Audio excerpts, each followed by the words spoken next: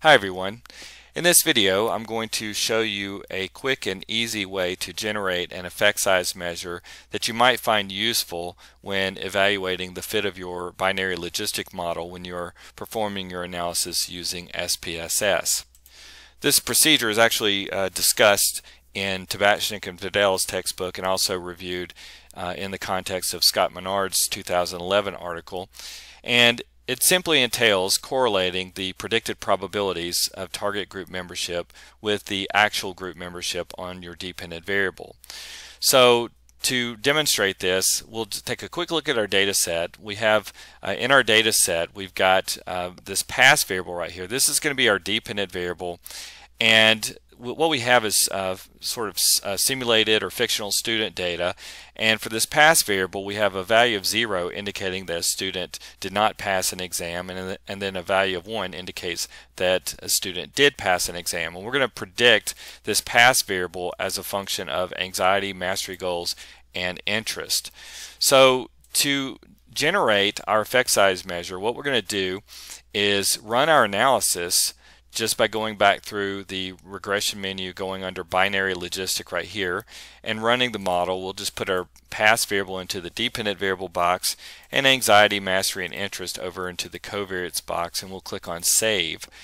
Next, we'll click on predicted values, and so the predicted probabilities that we've selected right here, this is the probability of a case falling into, into the target outcome group. So in this case, the way that we've coded this, where basically zero is representing uh, the student did not pass and one indicates that the student did pass, what we're trying to do is to predict the probability of each of our students passing the exam.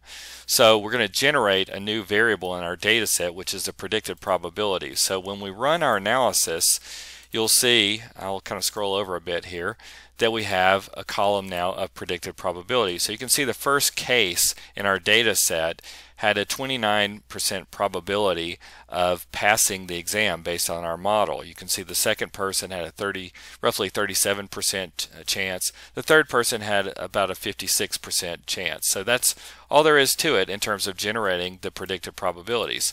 The next step is simply to run the correlation between them. So I'm going to go to Analyze, Correlate, Bivariate, and we'll move our pass variable over to the variables box and we'll move the predicted probabilities over to this box as well.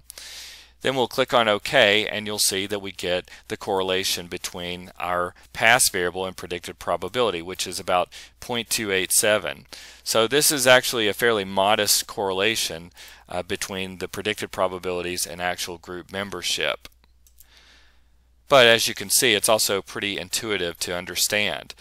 Next if we wanted to square that predicted probability to talk about the proportion of shared variation between those, we could do that very easily just by uh, squaring that correlation. So I could just take the 0.287 and then squaring it. And so now you can see that we get 0.082369 so basically they share those two variables share approximately 8% common variance so that's basically all there is to it. Um, as I said, this is a very easy approach to generating, um, uh, you know, an effect size measure related to your logistic regression. There are obviously, when you run your analysis, there are other indices that are given to you. Uh, for instance, you'll get the pseudo R-square values. You'll get, um, you know, the chi-square uh, model fit tests and so forth, but this might be a useful supplement uh, in your presentation. And again, these are discussed in the Tabachnick and Fidell book and in Menard's article, and I will include uh, those those uh, citations underneath the video description. So that's all there is to it, and I hope you have a good day.